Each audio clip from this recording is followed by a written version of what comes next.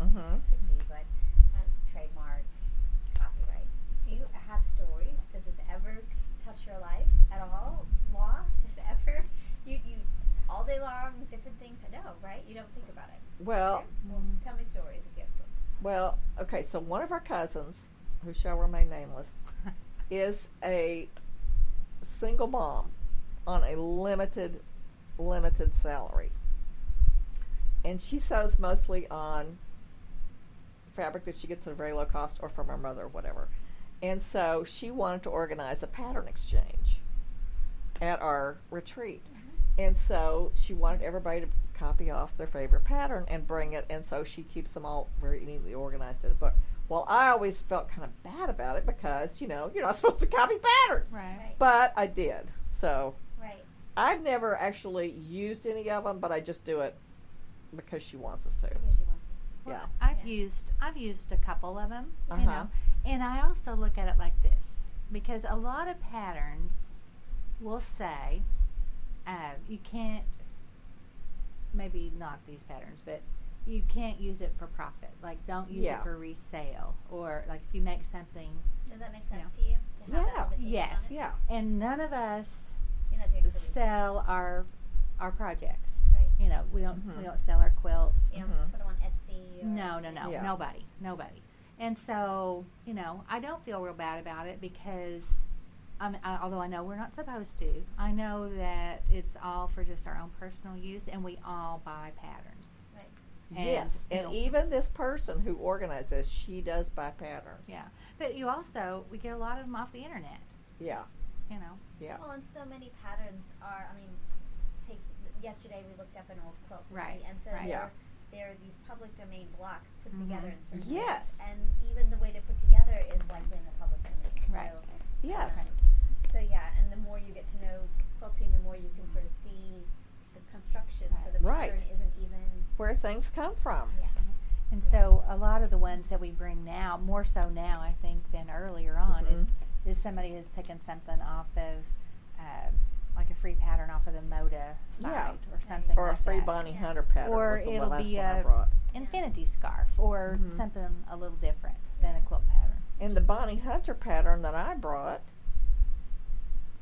she has given it one name. Now this is what this is why I think it's so interesting that you're doing copyright. The Bonnie Hunter pattern that she got, she gave it the name garlic knots. Well, it has another whole name and was an old pattern. You know? Yeah. She didn't originate garlic knots. She just named it that and put it on her site.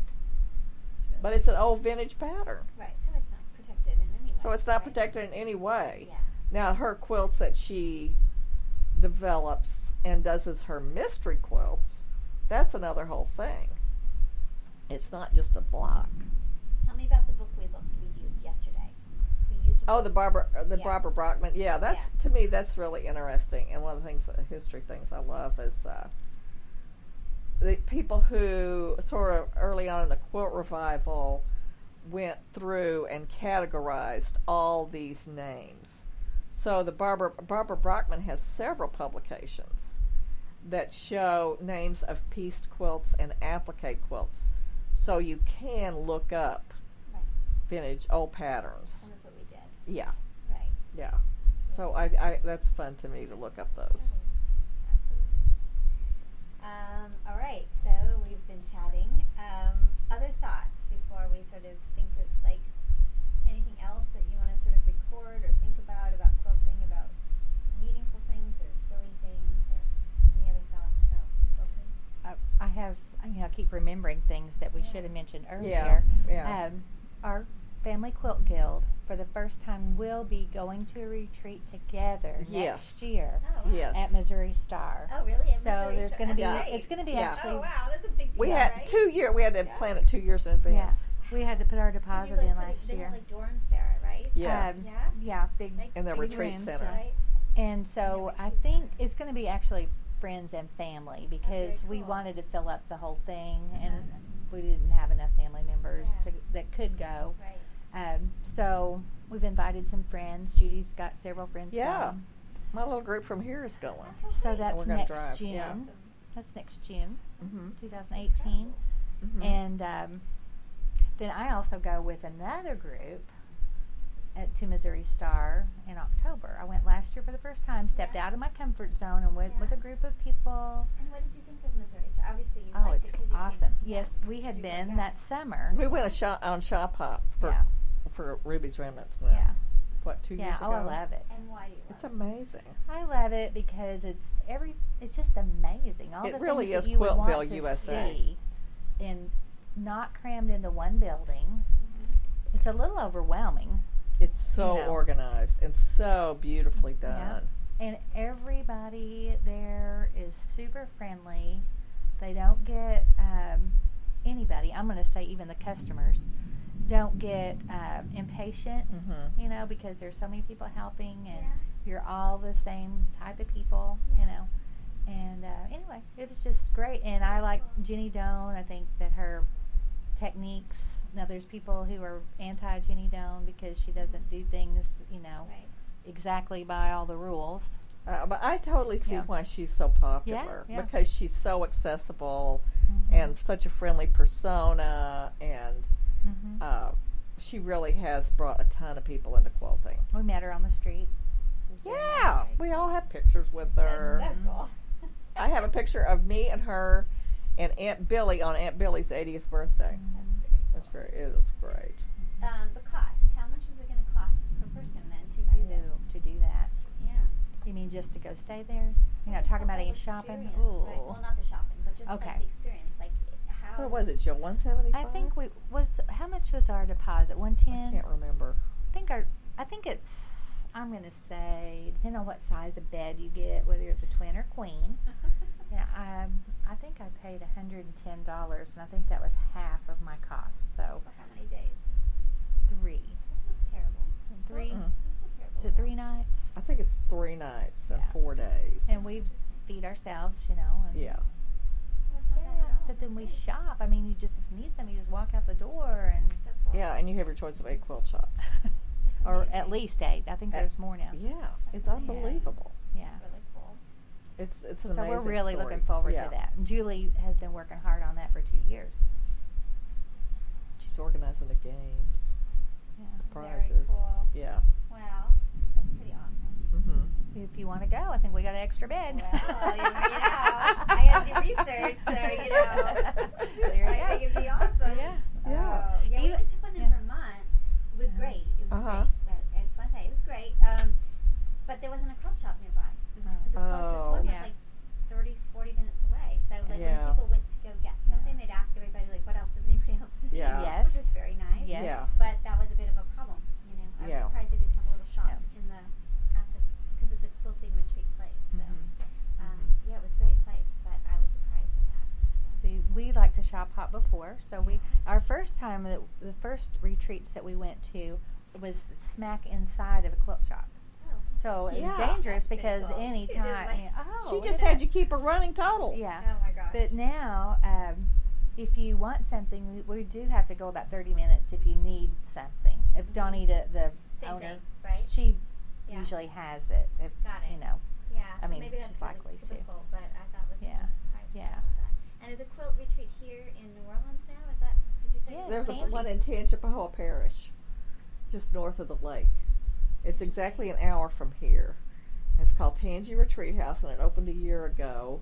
And a woman who's a quilter and her husband, who is like a builder, bought this seven bedroom house and made it into a retreat house.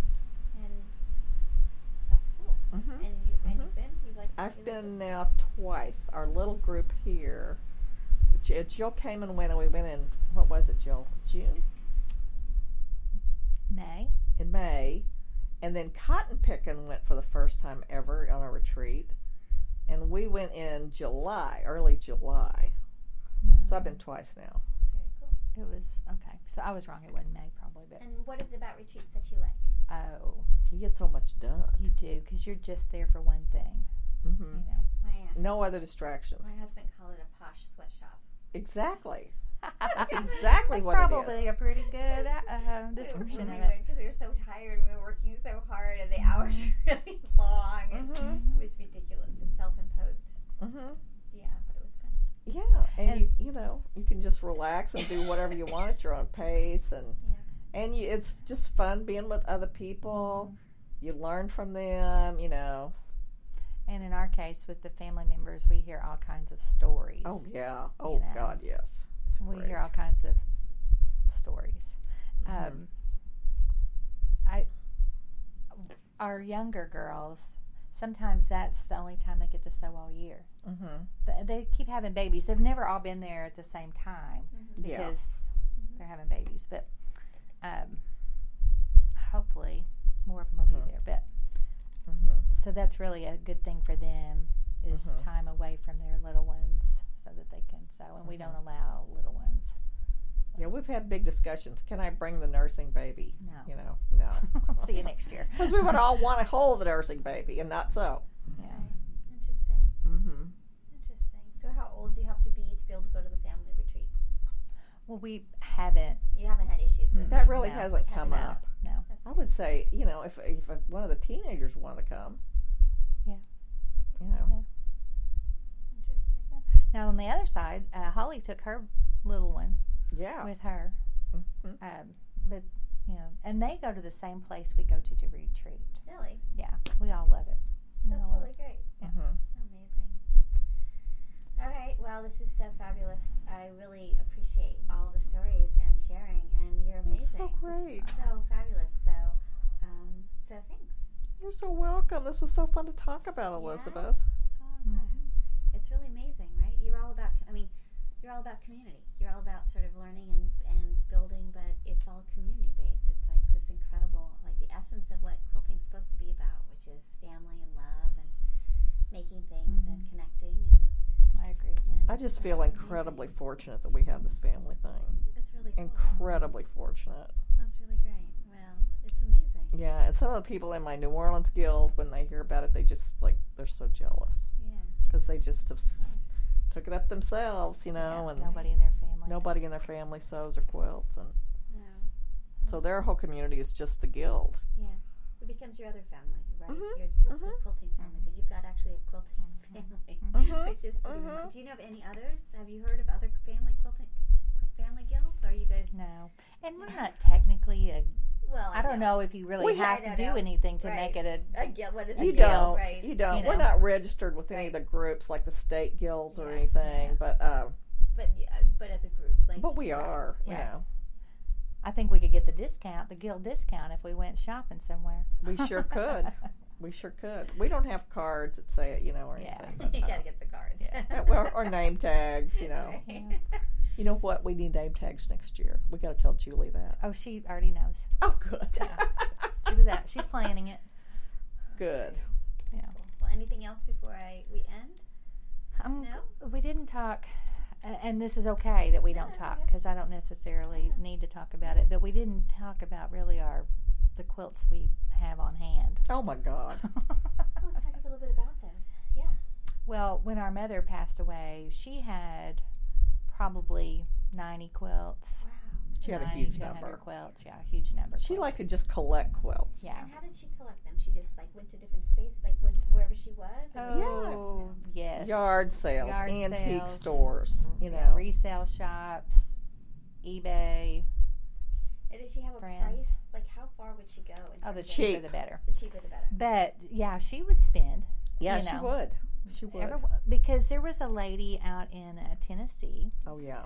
near where my aunt Billy was that uh, she was like was she in her 90s I think I never met her. she was in her 90s and she still did hand quilting she pieced and did hand quilting and so these three sisters got to know her and then that became like a destination every time anybody went to see aunt billy they had to go see i don't remember if her name was louise but they had to go see this lady and mom spent a pretty penny on a beautiful applique quilt that she made Interesting. which i now have Yeah, you have. A, I have a couple of quilts from that lady, don't I? That are piece quilts. i don't know maybe maybe Oh. But we, uh, because my sister in law, who's not in our guild, Mhm. but loves quilts, my brother, our brother's wife, uh, we just divided up mom's quilts between the three of us. Mhm, mhm. And we had an estate sale, and what there were maybe three or four quilts that made it into the estate sale. There were really more than that. well, a couple of them